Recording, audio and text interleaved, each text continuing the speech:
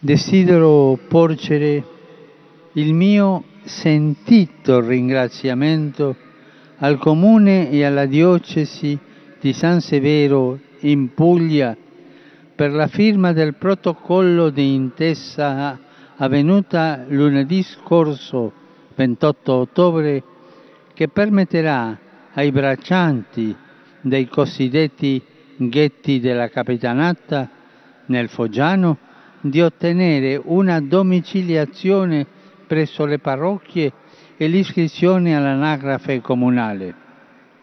La possibilità di avere i documenti di identità e di residenza offrirà loro nuova dignità e consentirà di uscire da una condizione di irregolarità e sfruttamento. Così Papa Francesco durante l'Angelus di ieri. Il Papa ha davvero apprezzato l'intesa tra Comune e Diocesi di San Severo che attraverso la firma di un protocollo risolverà il problema dei documenti dei migranti che hanno fatto richiesta di asilo.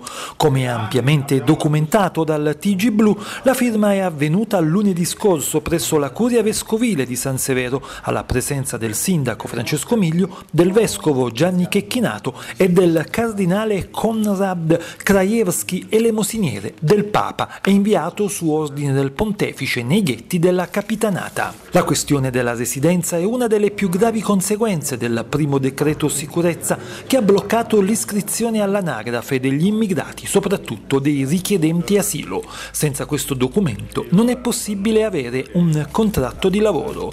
Papa Francesco quasi sicuramente nel 2020 visiterà i ghetti della Capitanata e la diocesi di San Severo.